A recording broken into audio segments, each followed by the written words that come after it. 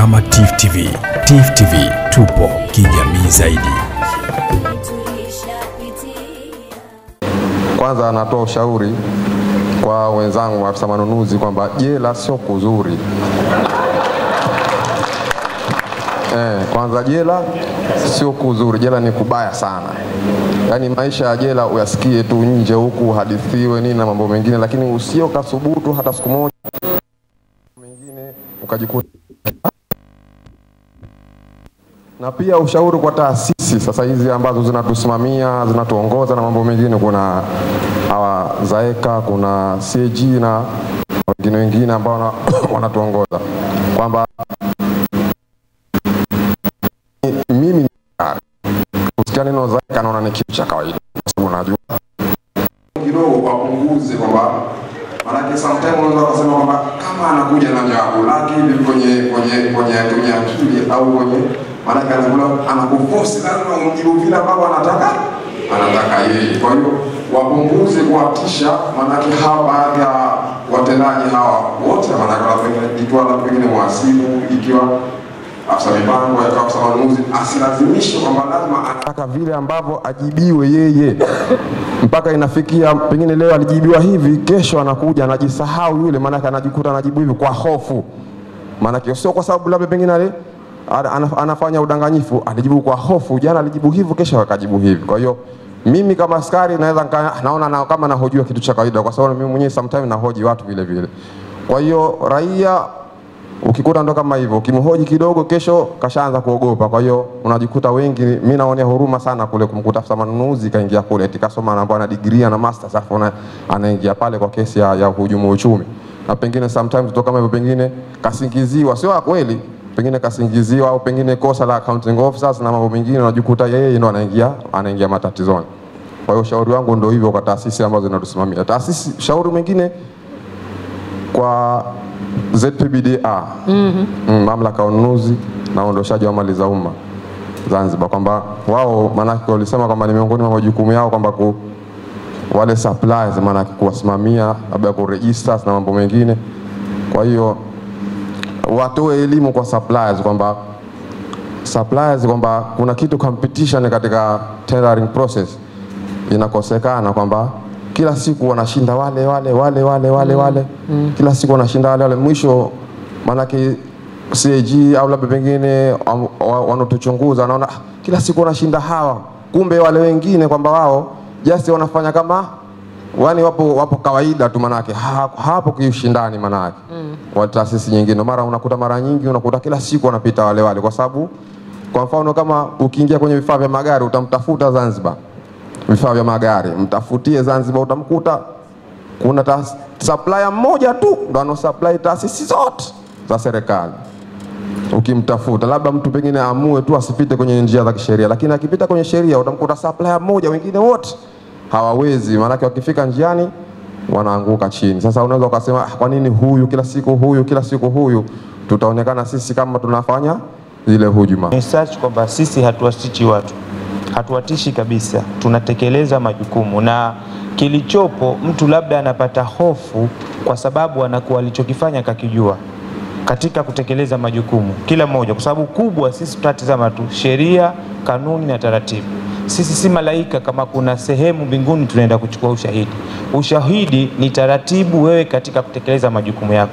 Ikiwa sehemu ya kutangaza tenda, kutangaza tenda automatic umekiuka sheria, kanuni na taratibu.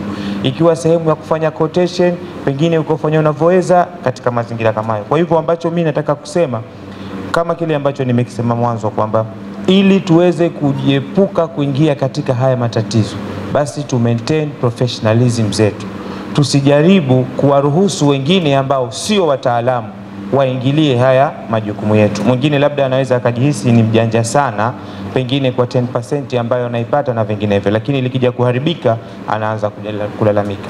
Ila mwisho kabisa nataka niseme kwamba tunapotekeleza haya majukumu yetu, hebu turudini kwenye holistic approach, holistical, tujengane kiimani kwamba haya ambayo tunayafanya mwisho wake ni nini? Pengine 10% leo ambayo unaenda kumsomesha mtoto wako katika skuli nyingine za kulipia na vitu vingine, ndio unakuja kutengeneza ta, taifa bovu ambalo linatokana na watoto wa corruption Pengine tutalalamika Mnazi Mmoja, madaktari hawatutibu vizuri, kumbe kwa pesa ambayo ulimsomesha mtoto wako ya corruption.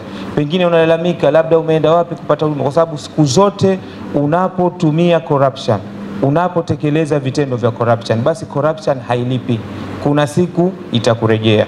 Kwa hivyo mi kwa hayo machache tu ambayo nimetaka kusema ni kwamba sisi katika kutekeleza majukumu tunafata sheria, kanuni na taratibu. Basi kama kuna kanuni, kama kuna sheria, kama kuna taratibu ambazo zimewekwa, ukizikeuka sisi ndo tunapoanzia na hakuna kwingineko. Kwanza nilikuwa naomba Zaeka wa, uandae program za mafunzo kwa hawa ma procurement officer, maybe katika mwaka alau quarterly wawe wanakaa nao, vile mkikaa nao quarterly hao wata alau ile lile lile joto litapungua, maana yake wanakuogopeni kweli kweli. na Mheshimiwa Mwenyekiti, nikwambie sasa hivi mimi nawajua wale ethical procurement, ukiwapangia vitengo sasa hivi wanakataa, wanasema "Ah, ah, ah, siwezi kufanya kitu kama hicho. Umenifahamu? Wale ethical procurement ukiwapangia vitengo, manake hawana hawana matatizo, lakini ile Si wamesema wasihamishwe hamishwe hapo. Eh, sasa ah, ah, mimi nimekuambia nini statement very clear. eh, sasa hilo ndio. Kwa hivyo mimi nashauri alau wawe wana Wana- program. wana- wanahamishwa mara kwa mara, alafu kumbe wengine hawataki kupangiwa. eh, kwa hivyo mimi nadhani wawe wana program za mara kwa mara, wawe wana eh, watawazoea kidogo, maanake wako kwenye kazi zao kweli, lakini wanapoingia wakati mwingine eh, mpaka sasa wakurugenzi pia wana uh, nadhani wawasilishaji wengi akiwemo CAG, ZPPDA, ZAECA na wengineo walikuwa wanasisitiza hayo manunuzi, na ndiyo lengo ya manunuzi ya umma. Katika lengo kuu ni kufikia manunuzi ya umma, lakini changamoto iliyopo ni kwamba sisi kama wanunuzi hatu identify requirements wala hatuna uwezo wa kuspecify requirements, na nadhani wanunuzi wenzangu mtaniunga mkono, tunakutana na changamoto kubwa sana katika kuzipata hizi technical specification. Kwa hiyo watu wanaenda ku Google wanachukua tu madude, pengine hata kwenye matumizi hayapo tena, yanaletwa. Kwa hiyo sisi tunapotangaza, vikija vifaa nje ya expectation zao, inakuwa vidole viko kwetu na kuitwa lile jina letu ambalo limezoeleka katika jamii, sisi ni wezi, ni watu wa 10 discount, wakati hizi changamoto zinakuwa zimeanzia mbali. Sasa moja ya jukumu la ZPPDA ni kuhakikisha wanatoa haya mafunzo kwa huu mnyororo wa manunuzi. Sijui wana mpango gani wa kuelimisha taasisi nunuzi na ule mnyororo wote kuhakikisha wanafahamu wajibu wao ili kuweza kufikia katika value for money procurement. Value for money procurement katika nyanja nyingine CAG alieleza na aligusia kwamba tunanunua kwa bei za juu ambazo si halisia, lakini katika ukaguzi wao naomba wawe wanafanya uh, determination na analysis ya kina kuhakikisha hayo manunuzi wanayohisi bei haziko halisia wameziangalia katika mtazamo upi. Kwa mfano, anaweza akasema kumenunuliwa kifaa kadhaa na kadhaa, lakini ukifanya comparison ya bei za sokoni hazilingani. Sasa kwa mfano, tunakuja kwenye hoja, mkataba ni wa muda mrefu, framework contract kwa mfano, pengine ni wa muda wa miaka miwili, na Tanzania kuna fluctuation ya bei zinapanda na kushuka mara nyingi, na mkataba si price adjustment contract, ni fixed. Kwa hiyo kama mkataba ni wa muda mrefu, unaweza ukaplace order ndani ya muda wa mkataba zaidi ya oda kumi. Kwa hiyo suppliers wana considers hizo situation za kubaki salama, ndio maana bei zinapanda.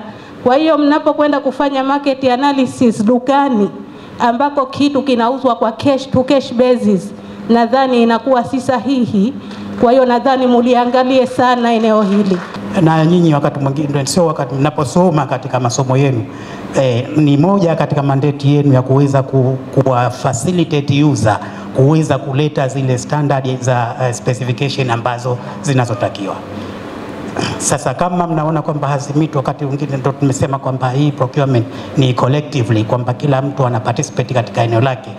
Lakini nani anasimamia uh, from the pale ulipo kwenda juu, lakini pale ulipo kwenda chini ni wewe. Sasa ha, na hapa ndipo panapo matatizo. Matatizo mengi mengi mengi yanajitokeza hapa. Ukishindwa kupasimamia vizuri hapa, utegemee tu weidha kwamba utapata bidhaa iliyokuwa sio, au utapata bidhaa ambayo bei yake ambayo ilikuwa ni, ni, ni, ni kubwa zaidi. Sasa Eh, umetupa, umetupa shauri hapa kusema kwamba tuwe tuna mpango wa kuwaelimisha. Maana hapa tukisema kuwaelimisha sio kwamba procurement, ma accountant, labda ma accounting officer au matenda board tu, lakini tuzielimishe taasisi zote, yani watu wote tuwaelimishe, kwa sababu wanaoingia kwenye nano, user, user wako eh, katika ta, nini kategori tofauti eh, uto- utodili nao leo sio utodili naye kesho. Kwa hivyo kila mmoja kwa hapa eh, tutalichukua tulifanyie kazi, lakini na nyinyi mwe wadau katika